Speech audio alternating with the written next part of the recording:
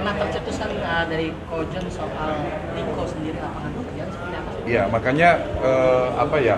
Saya sih agak jujur agak apa menyayangkan ya peluang kesempatan yang saya tawarkan ke Tiko itu belum ditanggapin serius gitu. Ya mungkin kalau yang saya tangkap ya ini opini saya sekali lagi teman-teman ya. Mungkin eh, Tiko ini masih karena beberapa hari lalu eh dua kemarin baru saya WA sama Tiko ini eh, dia tuh masih dalam batas yang gampang gitu. Terlalu banyak tawaran kan sekarang ini kan masuk ke Tiko ini. Bahkan untuk renovasi rumah aja bisa jadi mungkin udah udah cancel. Padahal rumah Tiko ini nggak bisa cuman hanya dicat ulang aja. Saya punya perusahaan konstruksi. Ini harus dicek segala macam dari segi strukturnya dan lain-lain kebocoran dan lain-lain gitu. Ya kayu-kayunya pintu-pintunya sudah rapuh dan lain-lain gitu kan. Nah cuman yang saya lihat itu kan baru cuman dicat-cat aja gitu ya padahal itu bukan solusi ya ya harapan saya eh, dengan grand launching Maple ini mungkin nanti Tiko bisa lihat bahwa saya ini mampu untuk mendidik dia, untuk mengarahkan dia, untuk jadi entrepreneur nantinya. Karena dia sudah punya modal gitu loh. Ini anak adabnya bagus, attitude-nya bagus. Masa sih Tiko masih ragu sama John LBF gitu? Saya kan sudah sampaikan bahwa gaji minimal itu 10 juta yang saya tawarkan. Kalau dia minta 20 juta pun saya oke. Yang pasti saya pengen banget ini bukan sekali lagi bukan karena dia oh ini karena lagi viral terus saya tawarin dia kerja dan lain-lain. Bukan. Posisi dia saya udah berkali sampaikan posisi dia ini sama dengan saya 2019 lalu. Dan saya tuh benar-benar punya suara hati benar-benar kepengen ini anak saya bisa sukseskan.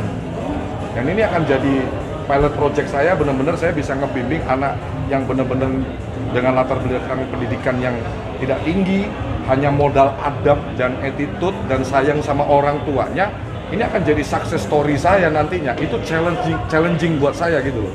Menantang buat saya untuk saya arahkan Tiko ini jadi something gitu.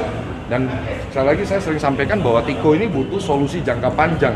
Nggak hanya lagi hype ini terus dia dibantu sana sini berapa lama? Nanti bisa habis uangnya tapi kalau dia punya pendapatan berkelanjutan karir jenjang karir bahkan arahnya sudah jelas saya akan jadikan Tiko itu calon pengusaha sukses juga gitu loh.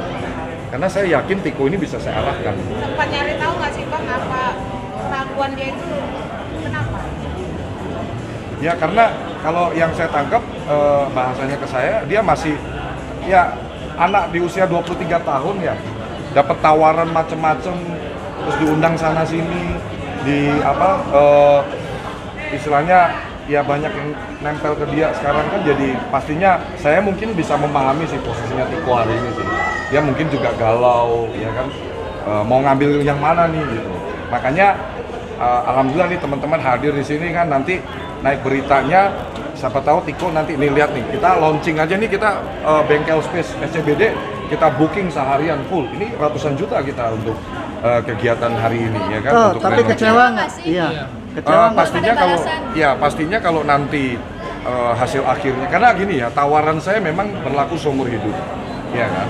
Ya, tapi kembali lagi juga kan nanti pastinya kan saya akan amati pergerakannya seperti apa ini si Tiko ini eh, konsisten nggak dia menyayangi ibunya ya kan?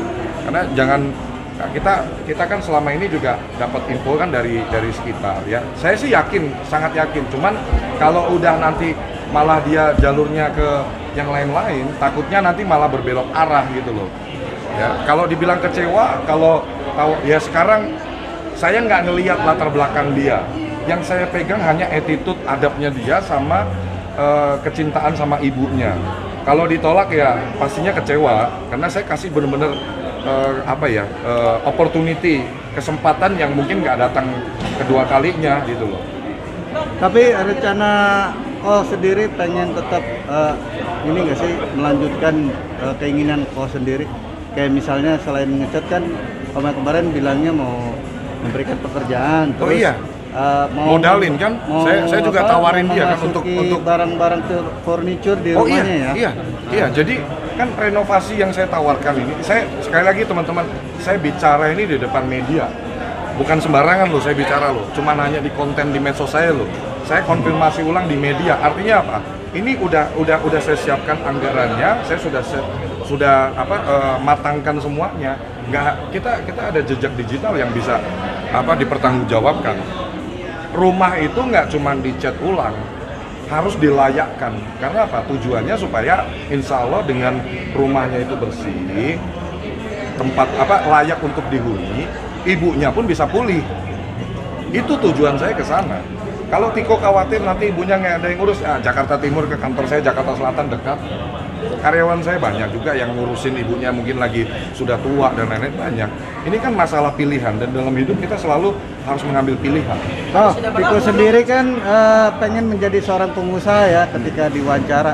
Nah, kau sendiri akan mensupport kah atau memberikan eh, apa eh, s- eh, kayak semacam eh, untuk memberi investasi gitu? Oh iya pastinya, pastinya. Karena jadi ya gini loh, yang saya arahkan ke Tiko ini, saya benar-benar kan saya bilang, saya yang akan mentorin dia langsung.